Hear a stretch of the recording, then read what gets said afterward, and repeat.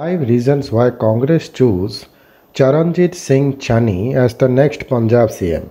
Channi will also be the first Dalit CM of a state where this post had become the monopoly of Jat Sikhs. The faction ridden Punjab Congress delivered a huge surprise when it chose Charanjit Singh Channi, 58, the Minister of Technical, Educational and Industrial Training, to be the next Chief Minister. Channi will also be the first Dalit CM of a state where this post had become the monopoly of Jat Sikhs.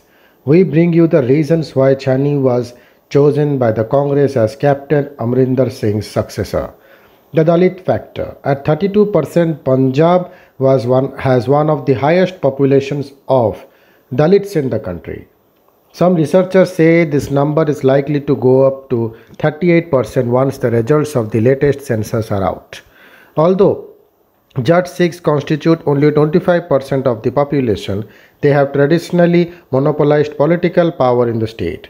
Although Congress has 20 Dalit MLAs, the 117 member assembly has 36 reserved constituencies, only 3 of them were included in the cabinet.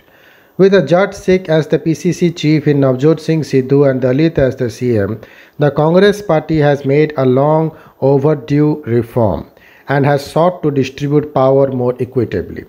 A counter to the opposition, both Shiromani Akali Dal, which has joined hands with Bahujan Samaj Party, and Aam Aadmi Party, which is dominated by Dalit legislators, have been promising a Dalit deputy chief minister if they come to power.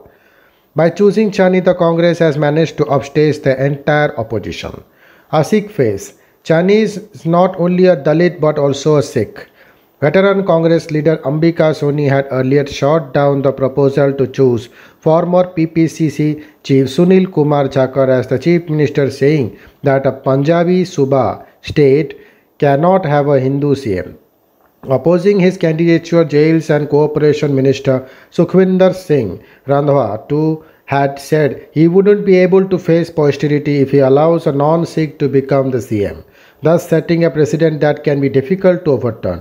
But with Channi at the helm, there is no such fear. Acceptability in the dissent-ridden party. Channi, known as his for his political acumen, will be able to negotiate the warring camps in the party. He is close to Majha brigade of three ministers that started marshalling the legislators against the captioning Amrinder Singh. He is also unlikely to rub Sidhu the wrong way and it will also be difficult for Amrinder to target a Dalit face. Mass appeal. A grassroots politician from a small hamlet at Kharar who rose through the ranks after starting out as a student leader, Channi's story resonates with the masses. Education is Channi's forte. He has been upskilling himself all his life while pursuing a career in politics. As a minister for technical education, he was behind the job fairs and opening of new colleges and skilling centers. The party hopes he will be able to give jobs and education the required push in a state which is seeing an exodus of youngsters. Thank you.